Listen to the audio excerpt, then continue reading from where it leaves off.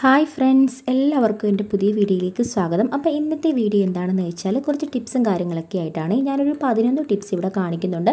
അപ്പോൾ അതിൽ ഏതെങ്കിലും ഒരു ടിപ്സ് നിങ്ങൾക്ക് ഉപകാരപ്രദമാവുകയാണെങ്കിൽ ഈ വീഡിയോ ഒന്ന് ലൈക്ക് ചെയ്ത് ഷെയർ ചെയ്ത് സബ്സ്ക്രൈബ് ചെയ്തൊന്ന് സപ്പോർട്ട് ചെയ്തേക്കണേ. അപ്പോൾ നമുക്ക് ഒട്ടും താമസിക്കാതെ തന്നെ നമുക്ക് വീഡിയോയിലേക്ക് കിടക്കാവേ. അപ്പം ഫസ്റ്റ് ടിപ്പായിട്ട് ഞാനിവിടെ കാണിക്കുന്നത് നമ്മളിപ്പോൾ തക്കാളിയൊക്കെ വാങ്ങുന്ന സമയത്ത് ചിലപ്പം സൂക്ഷിച്ച് വെക്കുമ്പോൾ നന്നായിട്ട് കേടാവും. അത് ഫ്രിഡ്ജിൽ വെച്ചാലും പെട്ടെന്ന് തന്നെ ചിലപ്പം കേടായി അഴുകി പോകാനുള്ള സാധ്യതയുണ്ട്.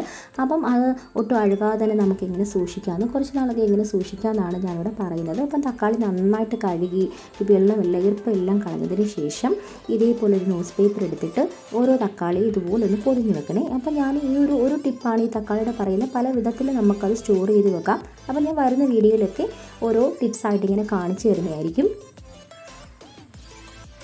ന്യൂസ് പേപ്പർ അല്ലെങ്കിൽ ടിഷ്യൂ പേപ്പർ കൊണ്ട് നമുക്ക് ഇതുപോലെ പൊതിഞ്ഞെടുത്ത് വെച്ചാലും മതി.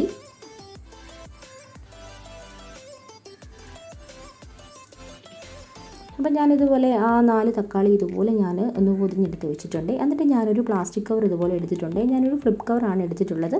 എന്നിട്ട് ഇതിലേക്ക് നമുക്ക് ഈ പൊതിഞ്ഞ് വെച്ചിട്ടുള്ള തക്കാളി ഓരോന്നായിട്ട് വെച്ച് കൊടുക്കാം.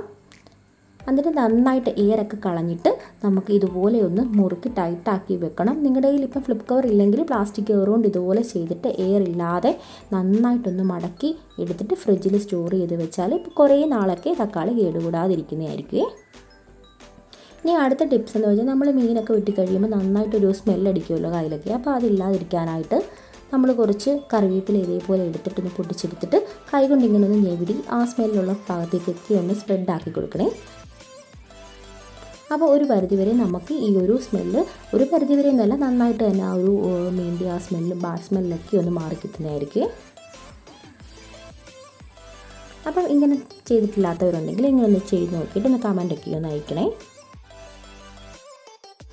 പിന്നെ അടുത്ത ടിപ്സ് എന്ന് വെച്ചാൽ പഞ്ചസാര എത്ര ടൈറ്റ് വരുത്തി വെച്ചാലും ചിലപ്പോൾ സമയത്ത് ഉറുമ്പ് കയറും ഇല്ലേ അപ്പം അതിനുള്ളൊരു ടിപ്സാണ് ഞാൻ ഈ പറയുന്നത്. ഒരു നാലഞ്ച് ഗ്രാമ്പു ഇതുപോലെ എടുത്തിട്ട് ഈ പഞ്ചസാരയുടെ ഈ ഒരു തിന്നിലേക്ക് ഒന്ന് ഇട്ട് കൊടുത്ത് നോക്കിയിട്ട് നന്നായിട്ട് അടപ്പ് വെച്ച് നടച്ച് നോക്കിക്കോളൂ. ഇപ്പം നിങ്ങൾക്കാണെങ്കിൽ ഈ ഒരു ഗ്രാമ്പു ഇങ്ങനെ കിടക്കുന്നതുകൊണ്ട് ബുദ്ധിമുട്ടുണ്ടെങ്കിൽ ചെറിയൊരു കോട്ടന്റെ തുണികളിൽ പൊതിഞ്ഞിട്ട് ഇട്ട് കൊടുത്തിട്ട് അടച്ചു വെച്ചാലും മതി. അപ്പോൾ ആ ഉറുമ്പിന്റെ ശല്യം ഒരു പരിധി വരെ ഒന്ന് ഒഴിവാക്കിയിട്ടുവേ ഇനി അടുത്തായിട്ട് തേങ്ങയൊക്കെ നമ്മൾ വെളിയിലൊക്കെ വെക്കുന്ന സമയത്ത് പെട്ടെന്ന് ഇത് കയറി ഒരു പൂപ്പലടിക്കുന്ന പോലെ നശിച്ചു പോകാറുണ്ട് അപ്പം നിങ്ങൾ ഈ അരിയുടെയൊക്കെ പാത്രത്തിൽ ഇങ്ങനെ കമത്തി വെച്ചൊന്ന് ചെയ്ത് നോക്കിക്കോളൂ. അപ്പോൾ നന്നായിട്ട് തന്നെ ഇരിക്കും. ഇപ്പം ഞാനൊരു പാത്രത്തിലാണ് ഇത് കാണിക്കുന്നത്. ഇപ്പം നമ്മൾ അരിയൊക്കെ സ്റ്റോർ ചെയ്ത് വെക്കുന്നത് ബാക്കറ്റിലൊക്കെ ആണെങ്കിൽ അങ്ങനെ ചെയ്ത് കൊടുത്താലും മതി. ഇനി അടുത്ത ടിപ്സ് എന്ന് പറയുമ്പോൾ നമ്മൾ ഞാനിവിടെ ഒരു തുമരപ്പരിപ്പ് എടുത്തിട്ടുണ്ട്. ഇത് ചില സമയത്ത് പ്രാണികളൊക്കെ കയറി ഒരു മതിൽ ചീത്തയാവാറില്ലേ? അപ്പം അതൊന്ന് മാറാനുള്ള ഒരു ടിപ്സാണ് ഞാൻ ഈ പറയുന്നത്. ഇനിയുള്ള സമയത്താണെങ്കിൽ കുറച്ച് വറ്റൽമുളക് ഒന്ന് എടുക്കണം. എന്നിട്ട് ഇതിലേക്ക് നമുക്കൊന്ന് വെച്ച് കൊടുത്താൽ വെച്ച് കൊടുത്തിട്ട് ഇതേപോലെ തുമരപ്പരിപ്പ് ഇങ്ങനെ മുകളിലൂടെ ഇട്ട് ഇതുപോലെ ഒന്ന് ചെയ്ത് കൊടുത്തിട്ട് ഈ അടപ്പ് കൊണ്ട് നന്നായിട്ടൊന്ന് ടൈറ്റ് ചെയ്ത് വെച്ചാൽ നമുക്ക് ഒരു പരിധി വരെയൊക്കെ ഈ ഒരു പ്രാണിയുടെ ശല്യമൊക്കെ നമുക്ക് ഒഴിവായി കിട്ടും.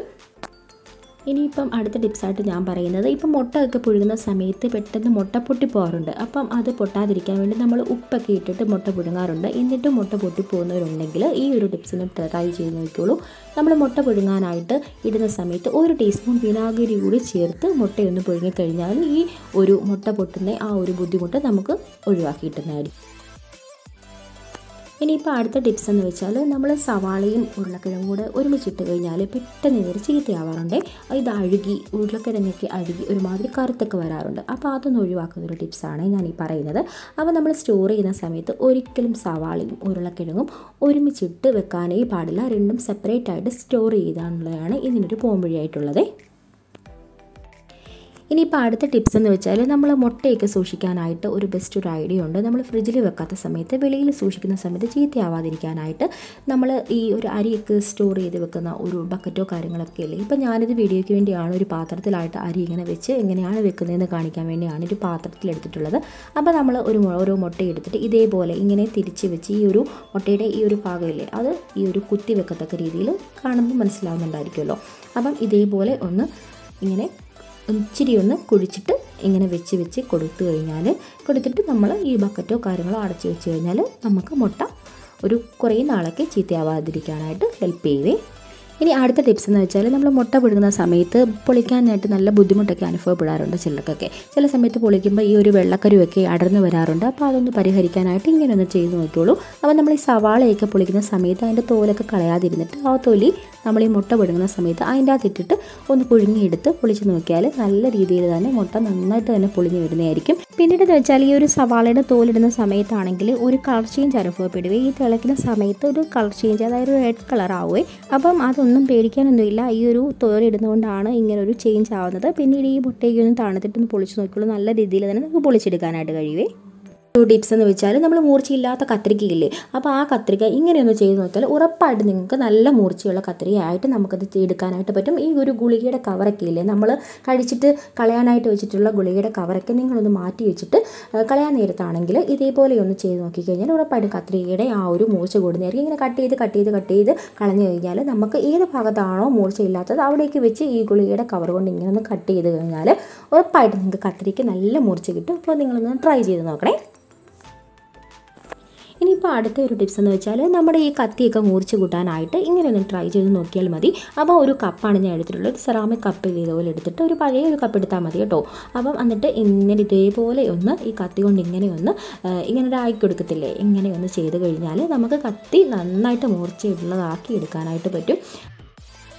അപ്പം ഞാൻ ഇത്രയും ടിപ്സാണ് ഈ ഒരു വീഡിയോയിൽ ഉൾപ്പെടുത്തിയിട്ടുള്ളത്. അപ്പോൾ ഇതിൽ ഏതെങ്കിലുമൊക്കെ നിങ്ങൾക്ക് പ്രയോജനപ്പെട്ടിട്ടുണ്ടെന്ന് വിശ്വസിക്കുന്നു. അപ്പോൾ ഈ ഒരു വീഡിയോ ഇഷ്ടമായിട്ടുണ്ടെങ്കിൽ ലൈക്ക് ചെയ്ത് ഷെയർ ചെയ്ത് സബ്സ്ക്രൈബ് ചെയ്തൊന്ന് സപ്പോർട്ട് ചെയ്തേക്കണേ. അവളടുത്ത് നല്ലൊരു വീഡിയോ ആയിട്ട് വരാം. ബൈ